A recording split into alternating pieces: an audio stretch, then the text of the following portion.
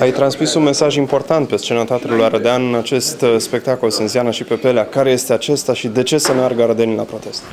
Mesajul este unit, salvăm Roșia Montana și uh, arădenii ar trebui să meargă la protest pentru că dacă statul român poate acorda dreptul unei firme private să expropieze oamenii la Roșia Montană, atunci va putea să facă același lucru și în Arad, și în Timișoara, și în orice alt colț al țării. Așa că nu ieșim doar pentru Roșia Montană, ieșim și pentru noi și pentru viitorul nostru și al copiilor noștri. Continuați să ieșiți în stradă împotriva exploatării cu cianuri de la Roșia Montană și împotriva gazelor de șist.